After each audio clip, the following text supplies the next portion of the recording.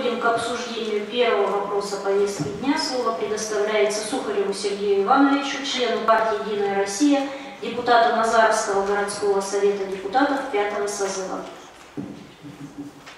Добрый день, уважаемые коллеги. Первый раз увидел Сергея Александровича в очках, я думал, только мне так не повезло. Вот.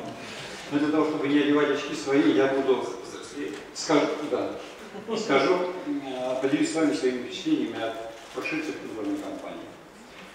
Знаете, э, я присоединюсь к словам Сергея Александровича о том, что кампания проходила в непростых условиях. Самыми большими вопросами, которые жители города задавали перед нами, ставили перед нами, перед э, кандидатами, были вопросы занятости, были вопросы жизнеобеспечения города, в частности, освещения, дороги.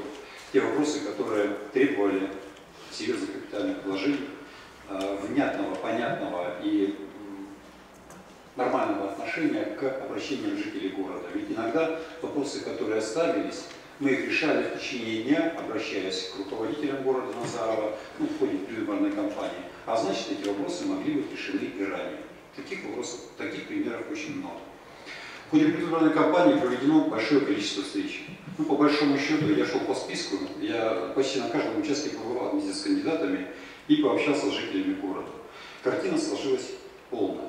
Работы предстоит много. Более 300 наказов мы получили в ходе э, избирательной кампании. Сейчас анализируются, обобщаются. И это послужит дополнением той программе, о которой говорил Сергей Александрович. Вот в плане практической реализации. Вы нам вернее, жители города нам выдали большой аванс, который нам еще вместе с вами предстоит отработать. Одни депутаты реализовать все не смогут, несчастье. Поэтому нужна будет ваша помощь и поддержка. Вот на вашу помощь и поддержку я и рассчитываю. Очень приятно было осознавать в день голосования, что эта помощь и поддержка есть. Есть она на уровне, на уровне вот исполкома, когда люди приезжали, приходили, обзванивали, то есть всеми своими силами пытались сработать на общий результат. Но общаясь первичках с членами партии, разговаривая с жителями города, к сожалению, мы поняли другой дефицит. Мало членов партии занимают активную жизненную позицию. И над этим нам предстоит поработать в будущем политическом сезоне. А каким он будет, вы уже прекрасно себе представляете. Весной это выборы президента, осенью выборы губернатора. Поэтому, уважаемые коллеги, мы получили хороший аванс. Но нам его с вами в будущем году предстоит еще отработать. Спасибо вам за помощь и поддержку. Спасибо, Сергей Иванович. Слово для выступления у нас коллеги записали заранее. Четыре человека, у кого будет инициатива, мы ее обязательно поддержим. У нас есть что сказать, поэтому подумайте. А, слово для выступления предоставляется Лилии Ифановой. Пожалуйста.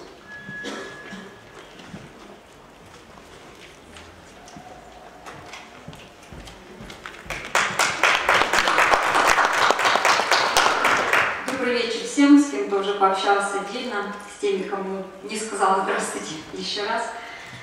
Ну, прежде всего, конечно, хотелось бы присоединить, присоединиться к словам ранее выступавшим и поздравить всех нас с достойными результатами выбранной кампании. Все-таки победа на, 10, на 9 округах из 10 – это хороший весомый результат, за исключением округа номер 2, по которому баллотировалась я. Ну, все, что было в моих силах, все, что нужно было сделать, я сделала от себя лично, плюс с участием, конечно, команды поддержки, это и мобилизационные группы, это и агитаторы, и политтехнологи, и все, кто помогал мне делать, делать мои первые политические, политические шаги. Ну, как говорится, может быть, э, первый блин комом, тем не менее, первый шаг сделан. И я считаю, что для меня это тоже хороший жизненный опыт, который дал, э, дал шанс, может быть, в дальнейшем тоже попытаться сделать э, что-то хорошее и полезное для города. Я хочу сказать, что наши оппоненты, с которыми мы периодически даже встречались на встречах и с экранов телевизоров, со страниц газет, очень часто обвиняли нас в использовании так называемого административного ресурса. Я очень много об этом думала, я считаю, что здесь нужно говорить не об административном ресурсе, а о человеческом. Человеческий ресурс – это прежде всего вот мы с вами, те, кто состоит в партии «Единая Россия», и те, кто каждый от себя вложил частичку ну, своего участия да, в общее дело и получил тот результат, который на сегодняшний день мы имеем. Еще одно понятие человеческий ресурс хотелось бы применить э, к тем людям, которые пришли и проголосовали за нас. Я более чем уверена, что те руководители предприятий, которые э, предложили нам провести встречи с коллективами со своими в организациях, никто не ставил вот такой ультиматум, что вот, либо мы вам зарплату не заплатим, либо вы там будете уволены, если не проголосуете за Единую Россию. На моих двух предприятиях, это разрез Назаровский и Назаровское горное монтажное наладочное управление, мы тоже проводили встречи с людьми, но пытались именно аргументировать вполне объективно. Мы понимаем, что и лишить людей конституционного права избирать э, тех, кого они хотят, мы не можем. Но, так скажем, пытались с людьми поговорить о том, что нужно как-то вот объективно оценивать все вещи, взвешивать за и против, и выбирать тех людей, которые действительно могли бы что-то сделать, а не только вот э, какие-то популистские лозунги использовали. Ну что говорить, вот наши оппоненты людям во дворах очень часто говорили, мы понизим цену бензина до 30 рублей, мы обеспечиваем, обеспечим всем бесплатное образование, школьникам и студентам. Э, даже при лозунге вплоть всем малоимущим, у кого доход ниже 10 тысяч рублей, нужно простить долги по коммунальным платежам. То есть те, кто имеет задолженность ну, более-менее здравые, адекватные люди понимают, что это не, менее, не, не более чем, вот, э, опять же, какие-то э, фарсы или какое слово можно использовать, чтобы просто добиться внимания людей к себе. Конечно, люди хотят это слышать, и они хотят этого. Но нужно понимать и отличать, вот, отличать действительно то, что, так скажем, жизненно, и то, что э, называется и произносится в период выборов. И в этом отношении, может быть, не всегда те, кто приходил на встречи Единой России во дворах, были довольны встречей с нами. Потому что мы не, не всегда говорим то, что хотели услышать жители вот такого банального, да, может быть, потому что мы понимаем, что есть вот определенный уровень полномочий у депутатов и у власти, и они немножко не соразмерны с теми желаниями, хотелками, простите, да, за слово, которые хотят, хотят люди. Поэтому, ну, тем не менее, все, что могли, мы выслушали, наказ записывали, и еще бы мне хотелось сказать, вот несмотря на то, что мы все с вами очень хорошо и плодотворно поработали, у нас есть большой минус в нашей работе, который так или иначе, может быть, э, оттеняет нашу работу. Я его называю информационный провал. И наши оппоненты, опять же, очень серьезно этими вещами пользуются. Я говорю о чем? Когда мы встречались с жителями и говорили, вот вы знаете, Единая Россия действительно работает, они говорят, да мы не видим, что вы работаете. Приведите примеры. В общении с людьми сделать это было проще, там, загибали пальцы, там, какие-то листочки доставали, доставали, приводили примеры. Но люди узнали это только от нас из личного общения. А что мешало нам с вами вот открыто и информационно говорить об этом? Не, не говорю сейчас о навязчивых постоянных материалах, но периодическое освещение средств массовой информации деятельности партии быть должно, тем более, что есть проекты, которые реализуются на территории города. Есть личные и частные инициативы, благодаря которым, собственно, и э, партия тоже заявляет о себе. И в этом отношении, конечно, нам с вами нужно будет проделать серьезную работу, продумать какой-то план, медиаплан или как, как хотите назвать это можно разными вещами. Тем более, что впереди действительно, как сказали Сергей Александрович, Сергей Иванович, две серьезных избирательных кампании. И подготовить почву к, к этим кампаниям мы должны. Ну и впредь на будущее. Все мы знаем, что кто владеет информацией, тот владеет миром, поэтому в этом отношении нужно будет, конечно, о себе, почему мы не можем себе рассказывать, если мы это делаем. Поэтому, ну, это такая небольшая ремарка. Всем спасибо, всех поздравляю с результатом выборами. От помощи и от участия в общественной активной жизни города я не отказываюсь и готова, ну, если вот в силу своих возможностей помогать. Спасибо большое. Спасибо, коллеги. Ну, вот, э, послушали действительно очень хорошее предложение. Надо в преддверии предстоящих выборных кампаний, еще Иванович, важно подготовить некий такой нормальный, оптимальный медиаплан. Ну и учитывая, как бы, что Лилия у нас профессионально занимается именно этим видом деятельности, учитывая опыт ее молодой, но творческой, активной работы, у меня есть предложение на этой конференции. То, что включить ее в общественную жизнь, мы ее включим. И предложение мы уже услышали. А вот поручить сейчас подготовить некий проект медиаплана, который мы обязательно в порядке рассмотрим на заседании политического совета, пригласить группу своих товарищей. Мы этот медиаплан утвердим. Или не возражаете?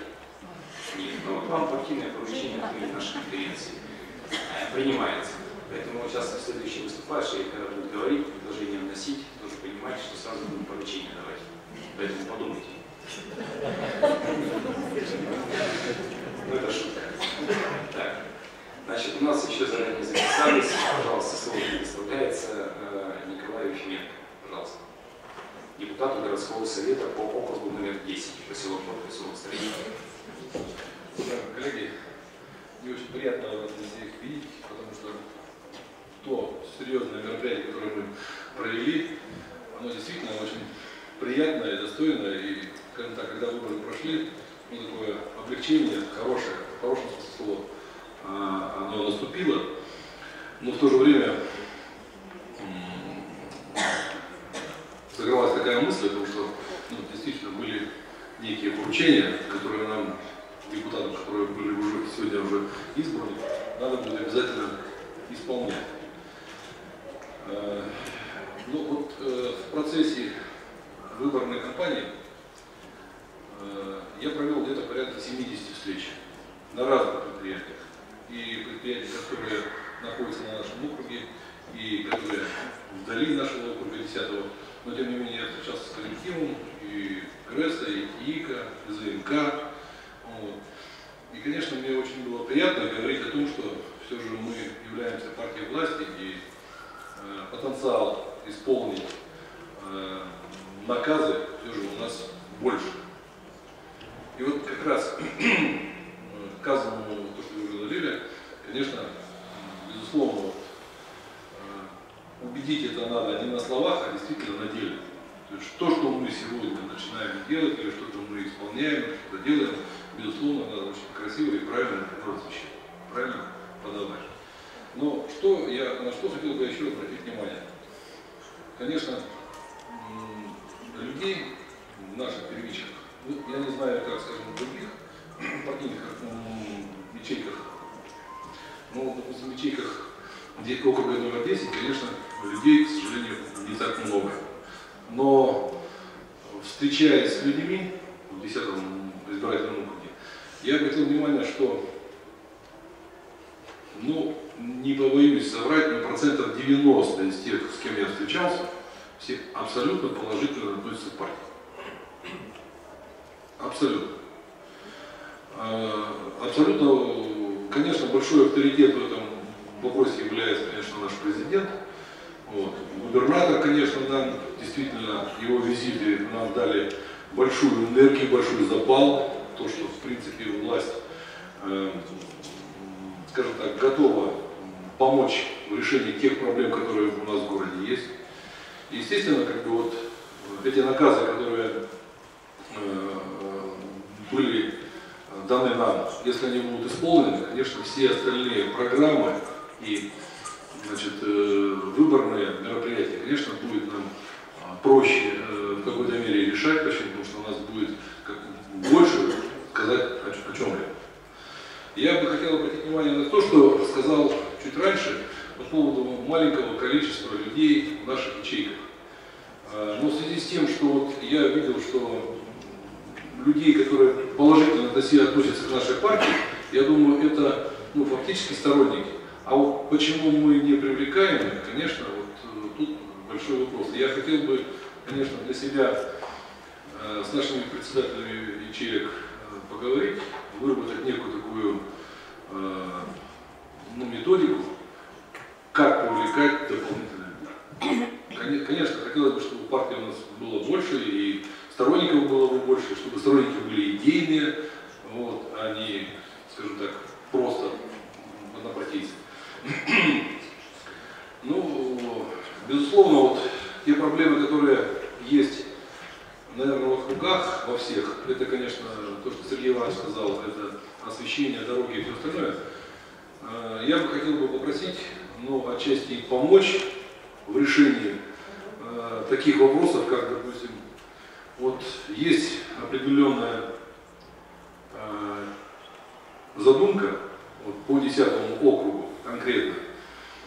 Э, у нас есть в поселке Строительный кинотеатр «Мир». Вы, наверное, все знаете, но, по крайней мере, многие знают. Вот мне бы хотелось бы все же, чтобы вот это помещение, которое ну, сделано было практически, ну, наверное, 60 лет назад, добротное помещение, вот, чтобы оно сегодня начало служить людям. Понимаете? Я вот хотел бы, чтобы все же вот, э, Вера Григорьевна, вот тоже как бы обратили внимание, может быть это как по партийной линии, может быть э, как-то э, помочь нам вот, в реализации данного проекта, э, у нас есть поселок Бор, да, и поселок Строителей. Поселок Бор у нас он больше как-то к культуре тянется, да, у нас там хороший, шикарный э, дворец культуры, с хорошим там, вы были там, э, с хорошим ремонтом, с хорошей там аппаратурой. Вот. А поселок строителей, вот он немножко у нас как бы обделен, но тем не менее там есть шикарный стадион, в который мы вложили 28 миллионов рублей. Вот этот стадион поддерживается, его состояние поддерживается добротное сегодня. И вот там сделать спортивное, спортивно-культурное ядро, которое бы вот как раз это помещение, о котором я говорю, можно было бы хорошо использовать для этого дела. И вот э, если бы мы реализовали данный проект, я думаю, что это бы тоже был некий показатель того, что все же партия, ну, с, э, скажем так, знает чаяния людей, знает их проблемы, вот, и, в общем-то, исполнение такого проекта, я думаю, это бы очень здорово. Конечно, хотел бы выразить огромную благодарность всему активу, всем однопартийцам, потому что я больше чем уверен, что все партийцы, однопартийцы, которые у нас есть э, в нашей партийной организации, безусловно, принимали участие в выборе, э, участие в. Сегодня я хотел бы поздравить и делегатов сегодняшнего конференции, поблагодарить за то, что все же то мероприятие, которое у нас прошло, выборы 80, 10 сентября, результаты этих выборов, конечно, шикарные. Поэтому от всей души я хотел бы поблагодарить, поздравить, ну и, в общем-то, порадоваться за вас и за себя. Спасибо, Николай. Насчет предложения поскромнее. Но, менее, слово предоставляем ранее записавшейся Оксане Шеремет, секретарю первичного отделения. Пожалуйста.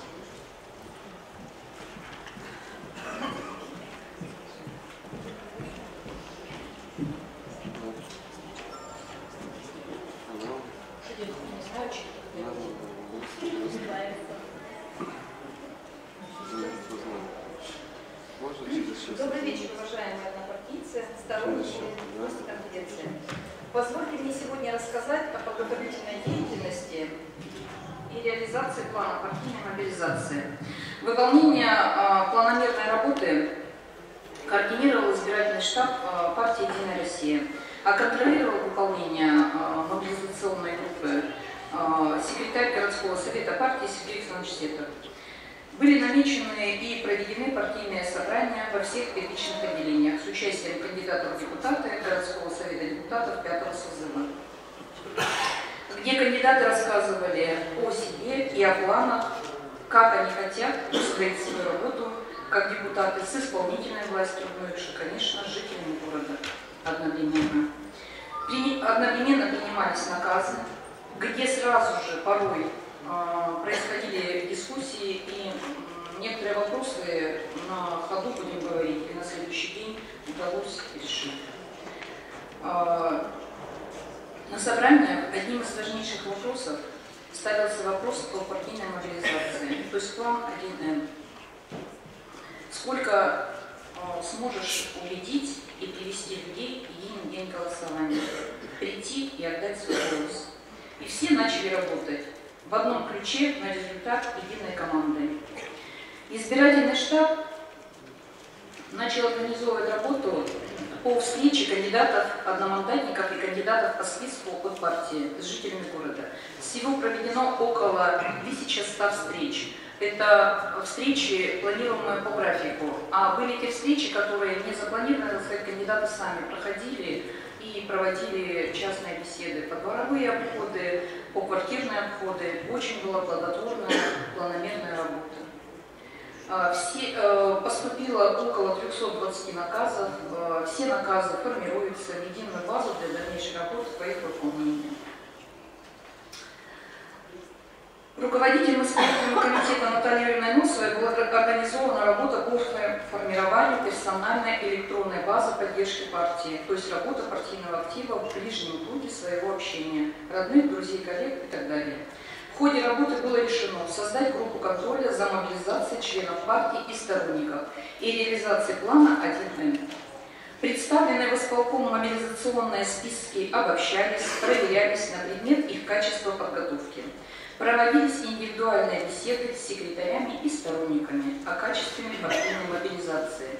Группа контроля в единый день голосования отслеживала поэтапно каждый час, а, как реализовывалась партийная мобилизация. В день голосования по уточненным партийным спискам должно было проголосовать 1800 человек, согласно э, плана 1Н, а проголосовало 1648, что, со, что составило 91,6%. Конечно, в работе были ошибки, недочеты, но ошибается только тот, кто ничего не делает. Считаю, что политическому совету нужно проанализировать работу партийного актива. Необходимо провести системный анализ избирательной кампании 2017 и разработать предложения по укреплению организационно-партийного ресурса и повышению деятельности первичек. Я, как член политического совета и простой избиратель, уверена, что вновь избранный состав, знаю это не понаслышке, очень много встреч э, с кандидатами в депутаты провела, поэтому ну, немножко, думаю, на это имею право сказать.